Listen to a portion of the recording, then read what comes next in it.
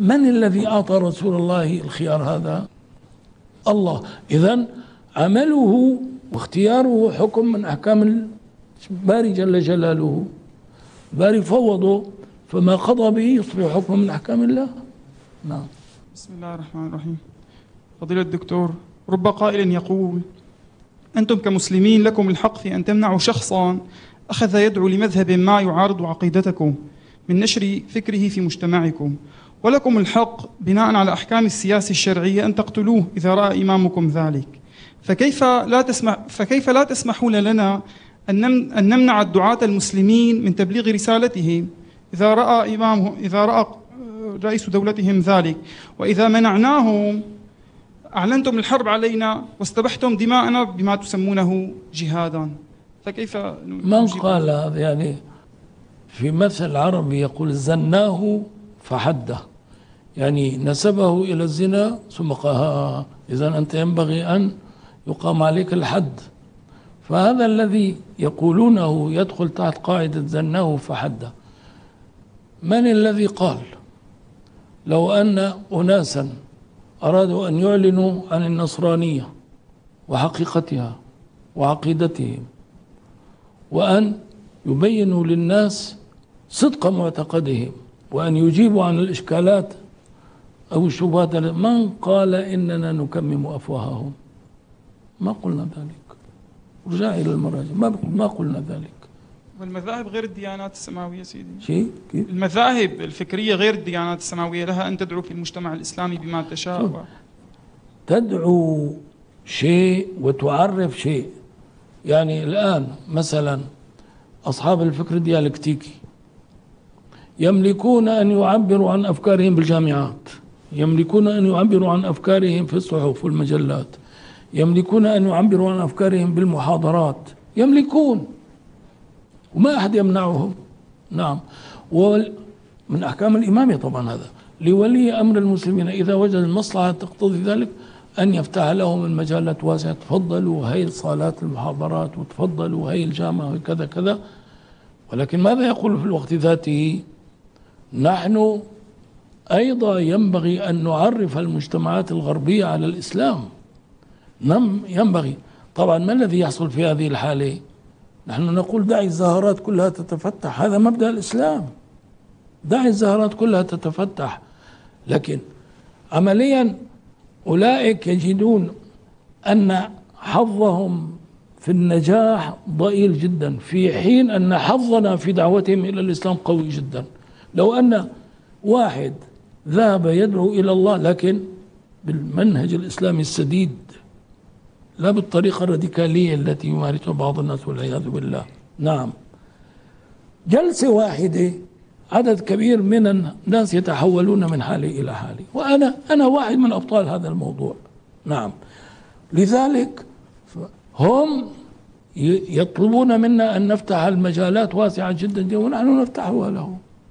ولكن عندما نريد أن نأخذ حظنا في الموضوع فكثيرا ما نجد العراقيل وكثيرا ما نجد العقبات وما إلى ذلك. أليس كذلك؟ السلام عليكم. وعليكم السلام. ما حكم بلاد الأندلس اليوم؟ هل هي دار أمان أم دار إسلام؟ لا هي دار إسلام حكما حكما. ويجب على المسلمين أن يبذلوا كل ما في وسعهم بالطرق الدبلوماسية بالطرق غير الدبلوماسية لاستعادتها إلى حظيرة الإسلام. ولا يكلف الله نفسا إلا وسعها. يعني لو قال والله الآن لا, لا نملك. قولهم لا نملك. لا يجعل من الأندلس دولة غير إسلامية. يعني تظل الأندلس دار إسلام. نعم. وعلى المسلمين أن يتحينوا الفرص. يتحينوا الفرص لكي يعيدوها إلى حظيرة الإسلام. كيف يعني؟ مو نغزوها. لكن يعود الأمان الإسلامي إليها بحيث المسلمون الذين يكونون فيها يكونون مطمئنين. فاتني أن أقول لكم دار الإسلام لا يشترط فيها أن تكون أحكام الشريعة الإسلامية هي النافذة. يعني البعض من الشباب يتصوروا أن دار الإسلام إذا ما كان عم يخطى فيها يد السارق ما عم يرجم الزاني مع يجرد شارب الخمرة مو دار إسلام لا. دار الإسلام هي الدار التي يتمتع فيها المسلمون بالأمان والمنعة ويملكون أن يستعلنوا بشعائر الإسلام بحرية ودون أي خطر. هذه هي دار الإسلام. عندئذ يجب عليهم أن يطبقوا الحدود وجميع أحكام الشريعة الإسلامية. يعني تطبيق الشريعة الإسلامية من نتائج كونها دار إسلام وليس شرطا لاعتبارها دار إسلام. سيدي يوجد سؤال يتعلق بهذه المسألة دار الحرب ودار الأمان.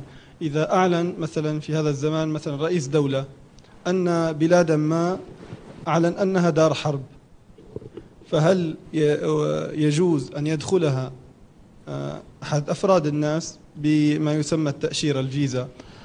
ويعتبر هذا عقد من تلك الدولة لا. أما من الدول الأخرى التي لم تعلن هذا الإعلان تملك. مع الأسف تملك.